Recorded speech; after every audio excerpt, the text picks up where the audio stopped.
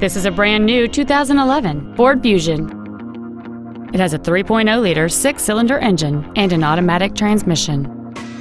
Its top features include a sunroof, fold-down rear seats, cruise control, fog lamps, a traction control system, an anti-lock braking system, steering wheel mounted controls, parking distance sensors, a rear window defroster, and satellite radio.